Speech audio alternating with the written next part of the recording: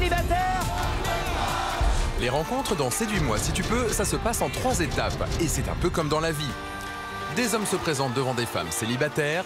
Je viens de Paris et je suis là pour vous séduire. Il y a tout d'abord la première impression. Il a un petit air de Nicolas Sarkozy. C'est vrai qu'il y a un petit truc. Ça, ça me plaît très bien.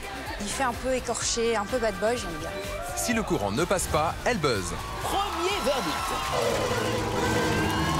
Moi, je donne quelqu'un qui soit un peu plus voyou. En revanche, si le courant passe, elle reste allumée. Il y a le courant, l'électricité, les fils, le compteur, il y a tout qui passe là. Ils vont ensuite faire plus ample connaissance grâce à un portrait. J'ai 27 ans et je suis steward. Je suis le meilleur coup de toute la France, ça c'est sûr. Il fait un peu crâneur, hein. Je vais attendre le mariage pour faire l'amour avec elle. Il est très romantique, j'adore ça. Et pour les filles encore allumées, le garçon passe à la troisième étape et sort alors sa botte secrète. Maintenant, c'est son atout séduction. Alors combien de filles garderont leur pupitre allumé pour un rendez-vous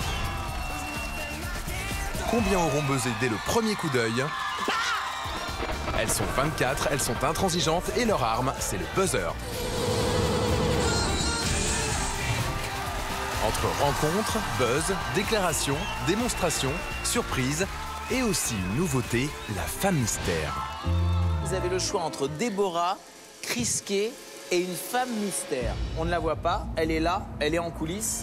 Mesdames, préparez-vous à enfin connaître les petits secrets inavouables des hommes. Et messieurs, vous allez enfin comprendre ce que veulent les femmes. The beau gosse. Verrons-nous l'amour naître sous nos yeux Ça va être dingue Séduis-moi si tu peux, saison 2. Le jeu de dating nouvelle génération est de retour, mardi 15 juillet à 17h50 sur W9.